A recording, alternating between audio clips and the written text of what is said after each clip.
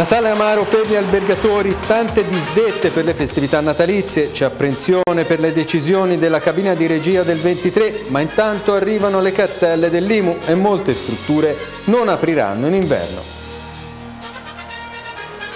Approvato il bilancio preventivo, previsti investimenti per 100 milioni di euro nel prossimo triennio di fondi propri dell'ente Comune di Viareggio. 900.000 euro dalla Fondazione Cassa di Risparmio di Lucca, erogati fondi per i 10 progetti presentati nel bando Beni Culturali, tra quelli finanziati il restauro della sede della Misericordia, di molti edifici religiosi e un contributo per il Museo del Carnevale. Babbo Natale da Ondina e Burlamacco. Tanti bimbi hanno incontrato Babbo Natale alla cittadella del Carnevale grazie alla due giorni organizzata dalla Fondazione che ha portato tra gli hangar anche la giostra Via Regina. Per lo sport, Serie D, perde il Real Forte, pareggi per Seravezza e Ghivi, numerose recriminazioni nelle partite dello scorso turno, i Ghivi per due reti annullate, il Real Forte per l'espulsione di Cintori. Ben trovati a questa edizione di TG9 Versilia, dunque come avete sentito dai titoli, dopo una stagione estiva che aveva fatto tirare un po' il fiato agli albergatori, si prospettano eh, problemi per quanto riguarda le vacanze natalizie, sono infatti molte le disdette già giunte alle strutture. Sì, c'è stato un calo significativo, naturalmente tutto si è bloccato, le poche prenotazioni che avevamo sono, si sono trasformate in cancellazione. Questo era da immaginarselo perché la recrudescenza della pandemia naturalmente non ci aiuta. Si prospetta un altro Natale amaro per gli albergatori versiliesi. Dopo quello dello scorso anno, infatti, l'andamento della curva dei contagi legati alla variante Omicron e le conseguenti nuove restrizioni stanno scoraggiando i turisti delle vacanze natalizie che temono ulteriori misure restrittive. L'attenzione adesso è puntata sulla cabina di regia del governo del 23, dove verranno decise le misure da prendere. Sulle strutture alberghiere pesa la spada di Damocle del numero massimo di invitati ai tavoli, così come l'ipotesi di tamponi obbligatori anche per i vaccinati per accedere a feste e veglioni. Siamo qua veramente molto preoccupati, aspettando il giorno 23, quindi giovedì 23, quando ci sarà questa cabina di regia governativa e ci diranno come dovremo affrontare le festività natalizie e soprattutto il Capodanno. Ma il grido di allarme maggiore per gli albergatori sta nelle scadenze dei pagamenti, che quest'anno sono arrivate puntuali e senza proroghe né ristori come avvenuto nel 2020.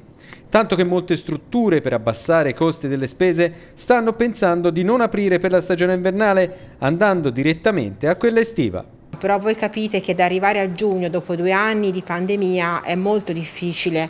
Noi al momento abbiamo veramente tanti debiti da da eseguire, da cui abbiamo anche per esempio l'IMU, la, la, la, seconda rata di IMU che abbiamo dovuto pagare perché il governo centrale ha rigettato la nostra richiesta di, di cancellazione. Non riusciamo ad avere un ponte di tempo per raggiungere il prossimo anno e poter dire il motore ha ancora benzina dentro perché purtroppo i nostri, i nostri motori al momento sono vuoti.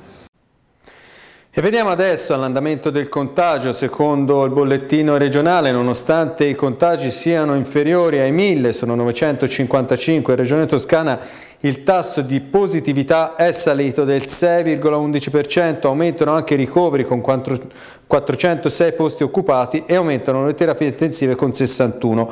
I decessi sono stati 6, i nuovi contagiati in provincia di Lucca sono stati 87. Personale del commissariato di Viareggio ha provveduto all'allontanamento dalla casa familiare di un 28enne di Torre del Lago dopo la segnalazione del codice rosso ai danni della madre, alla quale il giudice aveva vietato l'avvicinamento da parte del giovane, così come alla sua abitazione. L'uomo, dopo gli accertamenti, è risultato avere anche pendenti 20 giorni di reclusione per un furto commesso nel 2017 ed è stato quindi associato alla casa circondariale di Massa Marittima. Andiamo al Comune di Viareggio perché il Consiglio Comunale con 14 voti favorevoli e 6 contrari ha approvato il bilancio di previsione 2022-2024, previsti investimenti per 100 milioni nei prossimi tre anni di soldi propri dell'ente senza dover ricorrere a finanziamenti. Sentiamo il commento del sindaco Giorgio Del Ghingaro. Ma intanto è un bilancio sano, eh, compilato con estrema prudenza, come siamo soliti fare, e contiene degli elementi secondo me veramente importanti che dimostrano quanto sia solida la finanza eh, del comune di Viareggio. E cioè eh, intanto eh, c'è eh, una tesoreria di, di quasi 50 milioni, quindi soldi nostri, e con questi soldi e eh, i contributi che ormai sono già stati eh, assegnati al comune di Viareggio, noi investiremo sul territorio circa 100 milioni nei prossimi tre anni, tutti soldi senza eh, acquisire, diciamo così, nuovi elementi di debito, ma sfruttando tutte le nostre risorse. Quindi questo è significativo se si tiene conto soprattutto del fatto che veniamo da due anni di pandemia e siamo riusciti a non aumentare nessun tipo di tributo o di tariffa. E per quanto riguarda proprio i finanziamenti che arriveranno in Versilia sono 900 mila euro, quelli destinati dalla Fondazione Cassa di Risparmio di Lucca al bando per la cultura. Oltre 900.000 euro per il recupero dei beni culturali in Versilia. A tanto ammontano le risorse che la Fondazione Cassa di Risparmio di Lucca ha destinato alla realizzazione di 10 interventi individuati grazie al bando Beni Culturali 2021-2023. Il bando, da poco deliberato, vedrà finanziare operazioni di restauro per quasi 3 milioni di euro in tutta la provincia di Lucca molti progetti riguardanti edifici religiosi, come quello della chiesa di San Rocco a Mulina, nel comune di Stazzema, della chiesa di Sant'Agostino a Pietrasanta o del complesso parrocchiale della chiesa di Santa Maria Assunta a Stiava, solo per citarne alcuni. A Viareggio sarà invece possibile realizzare importanti lavori alla Villa Paolina, oltre che portare avanti un restauro conservativo molto atteso nella sede storica della Misericordia cittadina e anche la Fondazione Carnevale si vede riconosciuto un contributo fondamentale per il nuovo allestimento del museo. Risorse importanti che arrivano grazie a un bando storico col quale da anni la Fondazione riesce a sondare le priorità del territorio, cercando di supportare tutte le realtà della provincia nel tradurre le proprie esigenze in concrete progettualità. Restauro in corso alla Cappella Gil nel Camposanto della Misericordia di Viareggio. Una volta terminati i lavori di restauro, la cappella gentilizia della famiglia Gilles, che si trova nel Camposanto della Misericordia di Viareggio, tornerà a risplendere. L'opera fu dello scultore Alfredo Angeloni, unita a quella della manifattura Galileo Chini.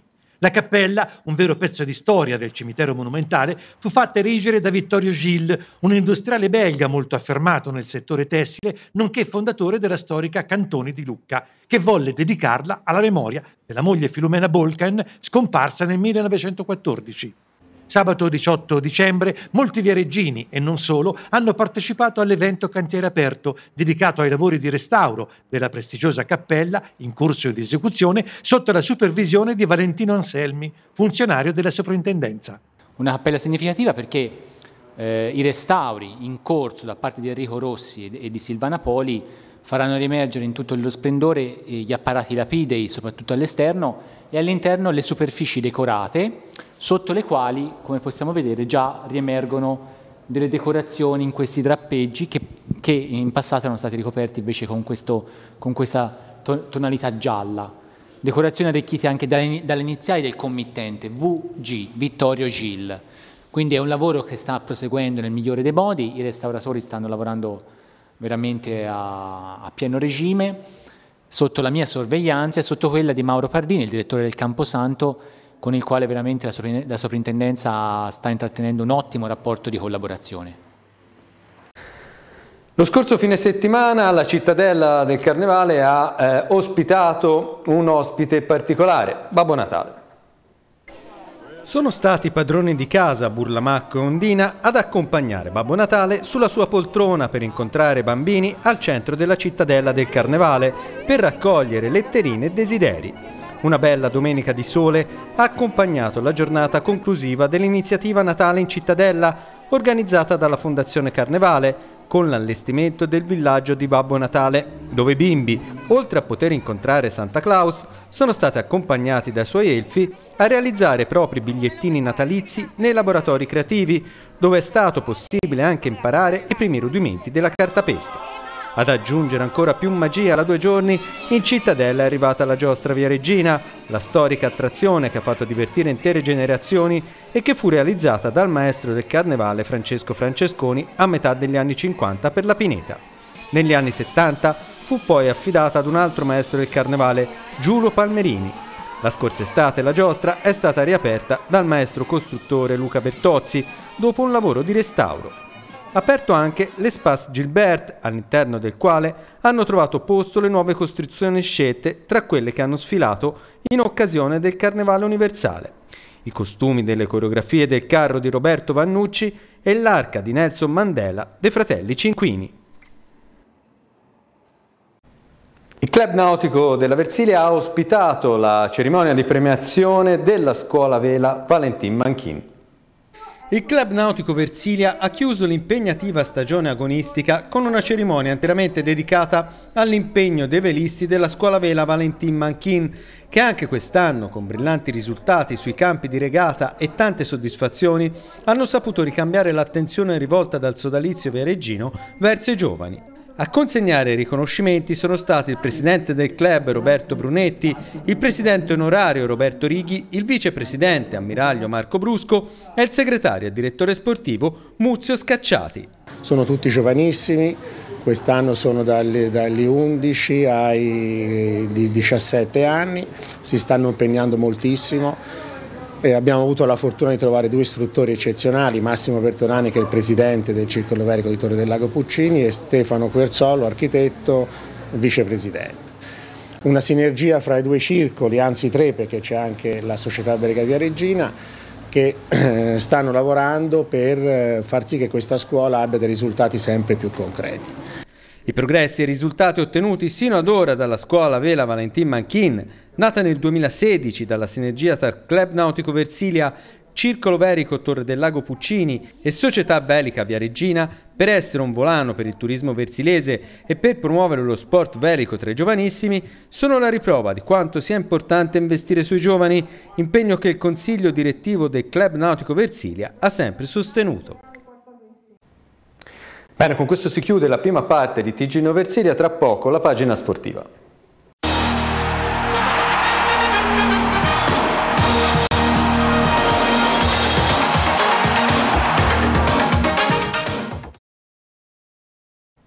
Ben trovati dalla pagina sportiva di TG Versilia, apertura dedicata al calcio, alla Serie D, due pareggi e una sconfitta per le nostre, ma molte recriminazioni. Ottimo pareggio del Seravezza Pozzi con la capolista Rimini per 0-0 con il debutto più che positivo del neoacquisto Rodriguez che ha regalato le emozioni che i tifosi verdazzurri già conoscevano. Addirittura la squadra di Massimiliano Incerti ha sfiorato il colpaccio che era priva di Granaiola e Bresciani. È stato Benedetti ben servito da Rodriguez al termine di un contropiede partito dagli sviluppi di un calcio d'angolo che è andato vicino alla segnatura nel finale della gara. Per il tecnico subentrata l'esonerato Alberto Ruvo sono due punti importanti nelle ultime due partite con le forti Aglianese e Rimini. Sconfitta del Real Forte Querceta per 1-0 sul campo del Tritium con il gol di Orefice arrivato al ventesimo del secondo tempo dopo che i ragazzi di Vitaliano Bonuccelli erano rimasti in 10 uomini 4 minuti prima per l'espulsione del difensore centrale Cintoi per doppia ammonizione. L'amministrazione l'amministrazione delegato Alessandro Mussi è contrariato della decisione del direttore di gara Selvatici di Rovigo e chiederà che non venga più designato per le gare della sua squadra, visto che in una precedente partita nella seconda di campionato contro il Borgo San Donnino aveva già espulso il difensore che comunque ha la terza espulsione in campionato. Il Ghiviborgo contro il Carpi pareggia 2 a 2 ma recrimina per le due reti annullate nella ripresa per dubbio fuorigioco gioco e per il rigore ospite subito al 35 della ripresa con Sivilla che è costata anche l'espulsione a Nottoli, vanificando un successo che avrebbe portato punti e morale. Gol di Lauria per i ragazzi di Vangioni dopo 13 minuti dal via, il pareggio di Sivilla per quanto riguarda gli ospiti al diciottesimo, poi la rete all'inizio della ripresa dopo 3 minuti di Cicali e come detto il rigore che ha portato il punto agli ospiti al 35esimo. Veniamo adesso all'Oche perché non è servito il cambio di allenatore sulla panchina del Forte De Marmi che perde contro il Bassano e scivola in sesta posizione in classifica. È il Bassano ad esultare dopo l'esonero di Roberto Crudeli, una prova molto convincente contro l'Hockey Forte dei Marmi, nonostante l'assenza di bomber Federico Ambrosio, una vittoria per 5 a 3 con la firma di Mark Coy, autore di una tripletta, che fa volare i Veneti alla quarta posizione a pochi punti dal podio.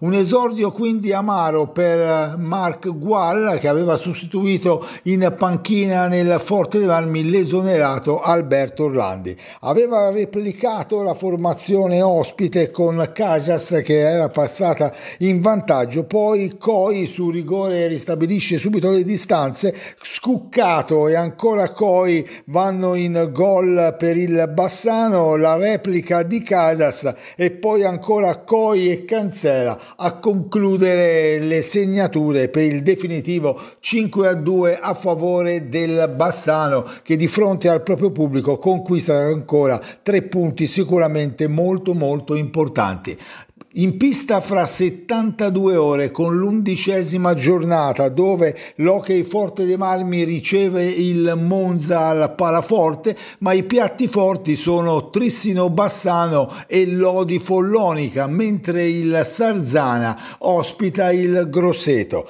Per quanto riguarda il campionato di Serie A2, vittoria del Centro Giovani Calciatori sul Grosseto per 6 a 4, mentre il Forte dei Marmi riesce a fermare fermare la capolista Sarzana sul punteggio di 5 a 5 fra le mura amiche.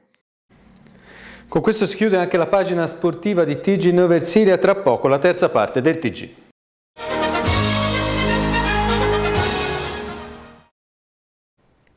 Terza parte di TG Noversilia, non ci sono ulteriori aggiornamenti, io mi fermo qua, grazie per l'attenzione e arrivederci.